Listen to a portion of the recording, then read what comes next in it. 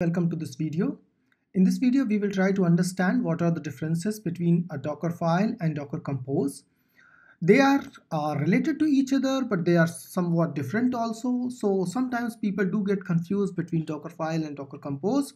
And I'm sure after watching this video, you will have everything clear what is the purpose of each of them.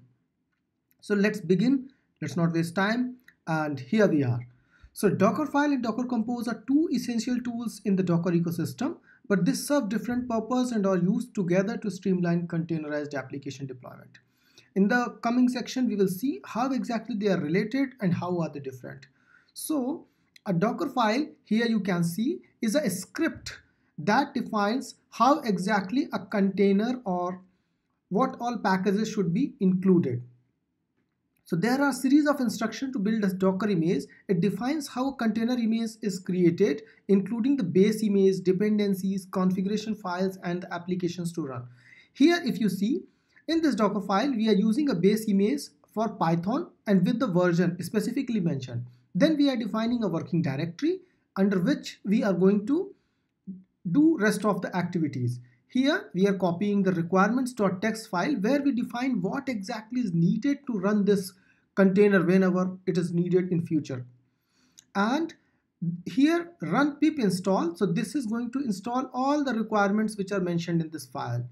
And then we will copy those requirements in the working directory and then we will use a cmd command. So I, here actually we are running the package. So whatever script or file or whatever we are trying to run, that is something is going to be executed here.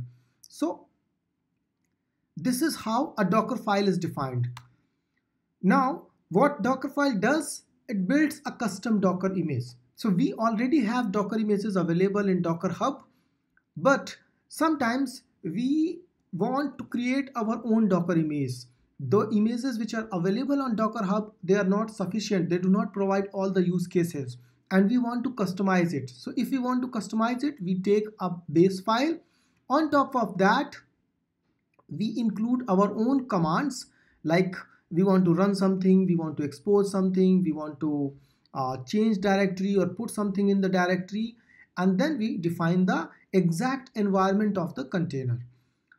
When we have to use it, if we want to reuse the same image again and again, it's always better to create a Docker image instead of doing the customization later on.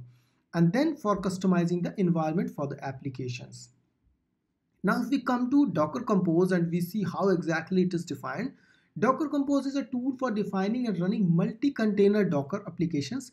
It uses a YAML file uh, to define services, networks, volumes. Now here is the YAML file and let's try to understand what exactly it is doing. So here we are defining the version here we are defining the Docker file. So the Docker file which we created earlier is being defined here. So Docker file and we can provide the version also. So let's say we created version 1, then we made some changes, then we created version 2, version 3. So we can always refer the version here. So Docker file colon latest or colon 1.1 or 1.2. That is how we define the version also. Then we define on what port this is going to run and listen and then what will be the volume which is being used. So when Docker runs, if we want to expose some files and mount from external sources, so we can define here volumes.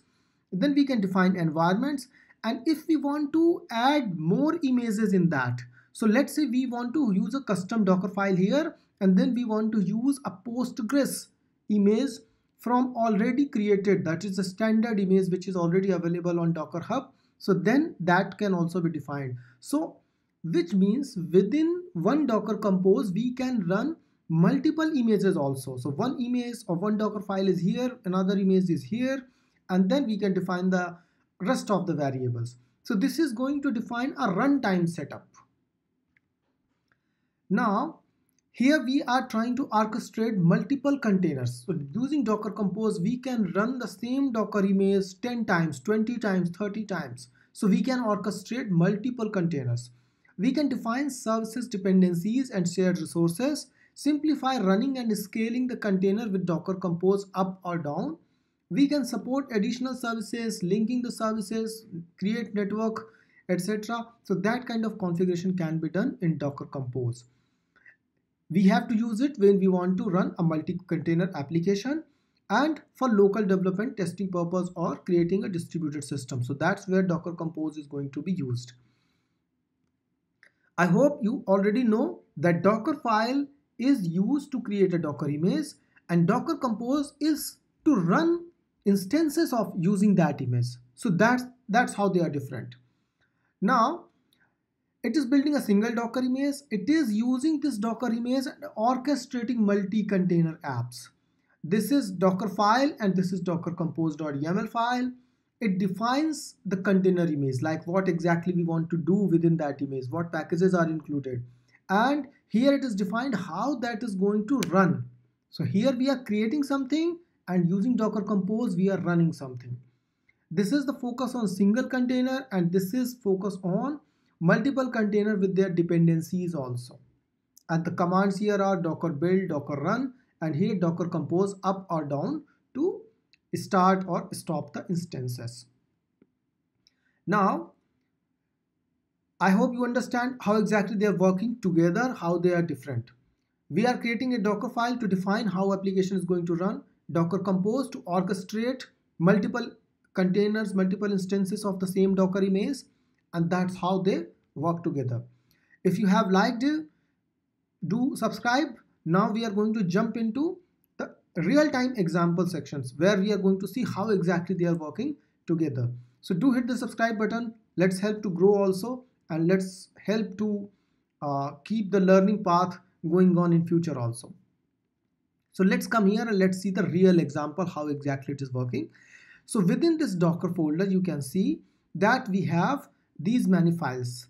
Docker file is there, registry is there, uh, applicant corporate Python file is there where we have put all the logic. Now, if we cat this file, you can see how exactly what packages are being used, uh, how exactly it is going to be run, what is the logic in that. So all that is defined in this Python files.